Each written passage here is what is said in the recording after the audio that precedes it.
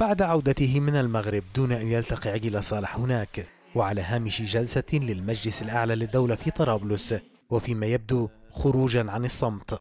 أعلن رئيس المجلس الأعلى للدولة خالد المشري ما يمكن وصفه بالخطوط العريضة لتطورات المشهد الليبي فيما يتعلق بانتخابات ديسمبر والمناصب السيادية وكذلك موقع حفتر ومصير المؤسسة العسكرية في مستقبل البلاد.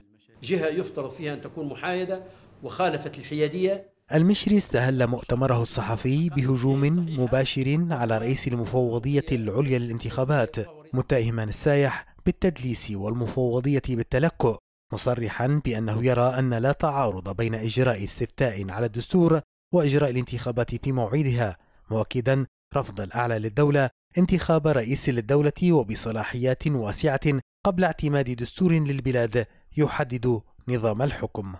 وفيما يخص المناصب السيادية قال المشري إن الأعلى للدولة يرفض الذهاب في توحيد المؤسسات التنفيذية والرقابية قبل توحيد المؤسسة العسكرية مضيفا أن مجلس الدولة لن يذهب في أي إجراء يخص المناصب السيادية غير مبني على اتفاق بوزنيغا واحد بين مجلسي النواب والدولة والذي يحدد آليات ومعايير اختيار من يتولون المناصب السيادية مضيفا أن عقيل صالح يحاول الانتقاء.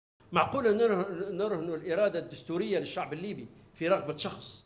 وفيما يتعلق بموقف حفتر من المسار الدستوري كشف المشري عن إبلاغ بعض الأطراف الدولية لهم بأن حفتر أعرب عن رفضه إجراء الاستفتاء على مسودة الدستور الحالية بسبب مسألة ازدواج الجنسية.